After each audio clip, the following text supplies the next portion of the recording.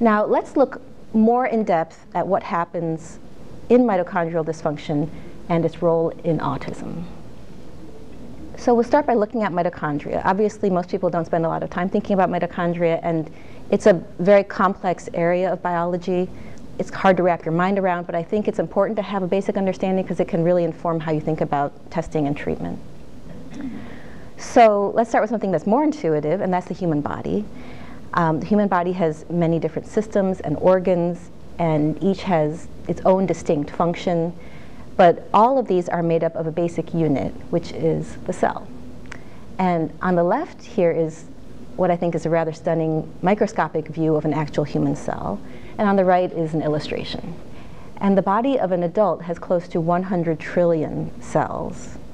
And inside the cells are many subcellular organelles, and among these are the mitochondria, which are circled here in red. Now, this illustration only shows two mitochondria, but in fact, a single cell can have up to several thousands of mitochondria. And what determines the density of mitochondria in any tissue is its energy requirement. So tissues that require more energy, for example, the brain and the muscle, because they're very metabolically active, will have a higher density of mitochondria. And those areas tend to be the parts that show signs of poor function when mitochondria aren't functioning well. There are other organs in the body that are also very metabolically active, like the heart, the liver, the kidneys, and pancreas. And that, I think, is useful for you to know because when a child has autism or other neurodevelopmental disorder, if family members have diseases affecting these other organs, it makes it more likely that the child's, um, that mitochondrial dysfunction is playing a factor in the child's difficulties as well. So I'd like to show you this brief video. It's put together by a really wonderful organization you may know called MitoAction, and they provide education and support to families. This video gives what I think is one of the best overviews of how mitochondria work. At mitoaction.org, we're dedicated to educating the community and supporting people with mitochondrial disease, or MITO. MITO is sometimes called the invisible disease because there are potentially many different symptoms and not all patients will exhibit every one.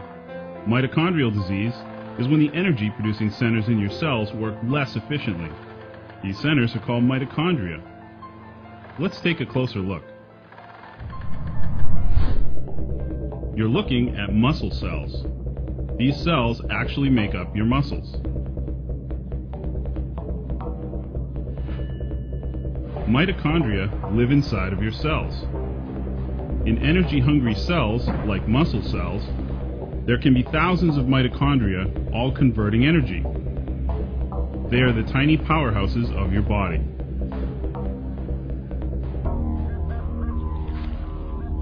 Inside of these energy factories is where your food, broken down into microscopic pieces, is turned into the energy your cells need. Some cells may need more than others.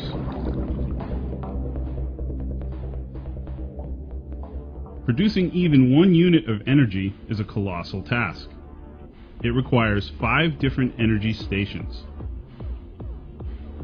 The first four stations produce energy, making fuel with the use of energy carriers.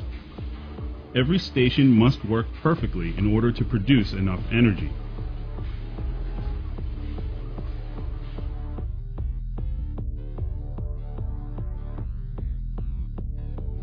Station 1 and 2 accept energy from food. Energy carriers, upon reaching stations 1, 3, and 4, lift our fuel up to the delivery network. The fuel travels down the network to station 5. When the fuel arrives, it collects in a large container. When the container is full, one unit of energy is fueled for launch.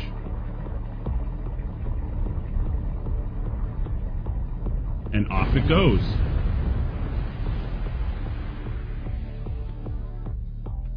If any station breaks, then our unit of energy will never be produced.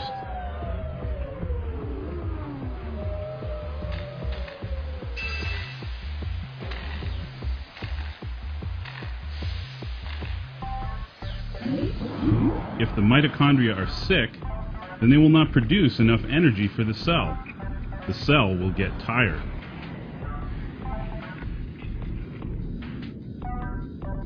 If the cells of your body are tired, you'll feel it too. Older people have less energy because their mitochondria have gotten tired.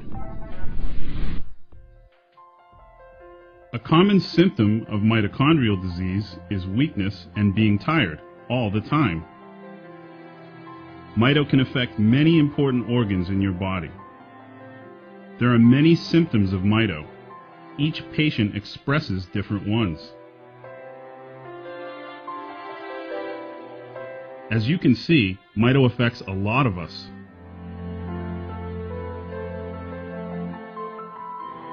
It is also related to a wide number of other diseases. Together with mitoaction.org, we can create a better future for every child and adult battling mitochondrial disease. So let's look more specifically at how mitochondrial dysfunction relates to autism. At the end of the video, they referred to brain disorders as one of the types of diseases that mito is related to. And just in the past several years, research has really started to show that autism is one of those brain disorders where mitochondrial dysfunction is very likely to be common.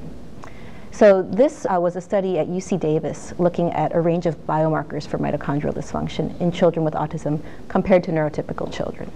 And it found that 80% of children with autism had signs of mitochondrial dysfunction on biochemical tests.